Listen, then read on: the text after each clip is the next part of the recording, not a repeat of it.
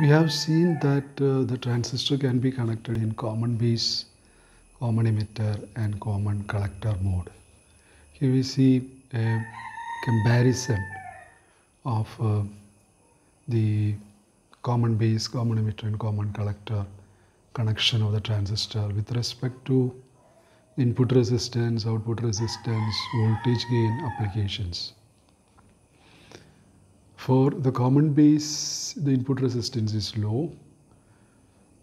Uh, the output resistance is very high. Okay, output resistance is very high. We see it is nearly 450 kilo ohm. This is ohm. So um, the output resistance is very high. Uh, so the output resistance to input resistance ratio, this is very large in common base connection. Common emitter connection, the input resistance is uh, low and uh, the output resistance is also uh, high, uh, 45 kilo ohm. But the ratio, if I take the ratio of output resistance to input resistance, that ratio is uh, less, the value of that ratio is less in the case of common emitter connection than that of common base connection. And when it comes to uh, the uh, common collector mode, which is something very rarely used. Okay, uh, the it has got very high input resistance and low uh, output uh, resistance, and the ratio uh, this ratio is very very small. Okay, ratio is very small, less than 1. Okay, so this is how the uh, input, uh, the ratio of output resistance to input resistance compares in common base, common emitter and common collector connection. Regarding the voltage gain, for uh, this is about 150 for common base and for common emitter uh, this is around 500 and for common collector it is less than 1 okay so for common emitter connection uh, you know that gives a high voltage gain. Applications for high frequency uh, common base is used for high frequency applications common emitter is used for audio frequency applications and this is for uh, you know rarely used one common collector. And uh, so in certain circumstances for impedance matching we are using common collector. Okay for impedance matching this has got very high input resistance and very low output resistance. Uh, and for impedance matching that we will see in the coming sections uh, what is this impedance matching and why uh, it is so important. Uh, in multi-stage amplifiers okay multi-stage amplifiers that we will see later on. The commonly used transistor connection out of the three transistor connections the common emitter is the most efficient one. Okay we can see very clearly mainly uh, transistor is used for amplification purpose. And here we see it is providing an amplification of around uh, voltage gain of around 500 okay so uh, this is a common emitter connection is the most efficient one. It is uh, used uh, in about 90 to 95 percentage of all transistor applications. Main reasons for the widespread use of CE uh, is, is a high current gain. Okay high um, current gain IC, uh, you know, IC is the output current and IB the input current in common base connection. So in common base connection, IC is the output current and IB is the input current. And we have IC as equal to beta IB plus ICU. IB the input current and we get the corresponding, since beta is very large, the beta value is very large, we, we know IC is much larger than IB. So the current gain since beta value is large, the current gain, uh, the IC is much more than IB and the current gain is very, very high. Okay. and since current uh, is very high current gain means output current much uh, greater than the input current since current gain is very high the circuit will give you high voltage and power gain due to high current gain the common emitter circuit has the highest voltage and power gain voltage gain since the current gain is really large the voltage gain will be correspondingly large then, uh, as we discussed, the uh, common emitter circuit has moderate output to input impedance ratio. In C circuit, uh, the input impedance is small, uh, the, uh, the output impedance to input impedance is small, about 50. This comes around 50. So, this arrangement is an ideal one for uh, coupling between various transistor stages. Okay. So this arrangement is an ideal one for coupling between. So in these in other connections the ratio is very large. Okay. Uh, yes uh, due to this uh, uh the coupling becomes uh, highly inefficient and due to this uh, mismatching so this yeah, output impedance to input impedance ratio is a very important factor. And the, this factor is very good uh, for the common emitter uh, configuration. Okay? So current gain large voltage gain large power gain large. Okay? And the moderate output to in, uh, in input impedance ratio. Okay now let's see how a transistor is working in common emitter mode as an amplifier Okay, we are now stepping on to an important section, the use of transistor as an amplifier. See the connection here. We have the transistor, clearly it is in common emitter connection. Here we apply the signal. Okay, this is the signal that we apply, which is to be amplified. Its magnitude has to be increased. Uh, this is where we take the output. Across RC we take the output. Okay.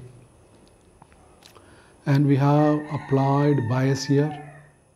This is a bias to forward bias the transistor and this is the output circuit and this is used for uh, reverse uh, biasing the uh, transistor in the output circuit we apply the signal here Okay, signal is applied here plus minus plus. Uh, IB is the base current and here IC uh, we will uh, just uh, uh, show you uh, what this means. The small IB we are here, here we are using, here we are using I capital C. So and here we have capital I capital C. Okay, so what that means is the uh, emitter current uh, for AC that is uh, small i, for DC it is capital I and total emitter current. So emitter current can be due to the bias that we apply, the DC bias that we apply uh, and due to the signal. Okay, due to the signal alone the emitter current is this small ie. Due to the DC if, if you are not applying the signal uh, and just applied the bias, then a current will be flowing through the circuit and that is the DC current. IE, capital I, capital E. Total current, that is the sum of the DC and AC current that is given by this. Okay. And we have the collector current, instantaneous, that is the sum of IC plus small ic and IB, the base current, is IB small IB Uh, and uh, VC is there. VC is uh, this is uh, if the if all the symbols are capital letters that denotes DC. Okay, and if all the letters are uh, small case letters, then it denotes AC. The total is uh, represented like this. Okay, so this is how we represent the currents and voltages okay and uh, during uh, the positive half cycle of signal what happens That is what uh, uh, we want to know. And during negative half cycle, what happens in the circuit? Suppose that no signal is applied, we just connect it straight uh, straight away. Then DC conditions exist, and there will be, you know, uh, collector current IC, the DC current, and here the, here will be IB, the base current, and here will be IE. All these are uh, the IE. Okay, all these are the uh, DC uh, currents. So when we apply the signal, the uh, what happens during positive half cycle? This is the positive half cycle on signal, and this is the negative half cycle. During the positive half cycle, here uh, we have plus and minus. Its magnitude increases. So the forward bias on the base emitter junction. This is emitter. This is base. The forward bias on the base emitter junction increases that increases the base current and also it increases the collector and emitter current. So this current will increase, the collector current will increase. Okay, and during negative half cycle, what happens is during negative half cycle, this end becomes negative and this end becomes positive. The forward bias on the base emitter junction that decreases because the signal is now opposing the this bias voltage which is uh, denoted as V, VB. Okay, opposing this. So what happens is uh, uh, the the base current and corresponding the collector current decreases and the emitter current decreases. Emitter current, collector current, everything decreases when the signal uh, is in the negative uh, half cycle. So what happens is the IC, the current flowing through the collector circuit and through the RC, the load resistance that increases and uh, decreases. Okay, that increases and uh, decreases as the signal. Okay, as the signal is applied, it increases or uh, decreases. Then uh, the analysis of the circuit just uh, we, we saw this uh, the, the when no signal is applied input circuit is forward biased by the battery VBB and a DC collector current IC flows in the collector circuit and this is called zero signal collector current. The co collector current that flows through the external circuit uh, even when the signal is not applied. Okay, that is zero signal collector current. And when signal is applied, during positive half cycle, forward bias increases, causing total collector current to increase. So the increased collector current produces a greater voltage drop across the load resistance RL. And during negative half cycle of the signal, the forward bias on the base emitter junction decreases. Therefore, the collector current decreases. This uh, results in decreased output voltage. Okay, that as, as we discussed uh, earlier. Uh, during the negative half cycle, uh, the collector current decreases and uh, the decreased output voltage in the opposite directions and amplified output is obtained across the load. We know uh, the output is IC into RC. RC is the collector resistance into IC.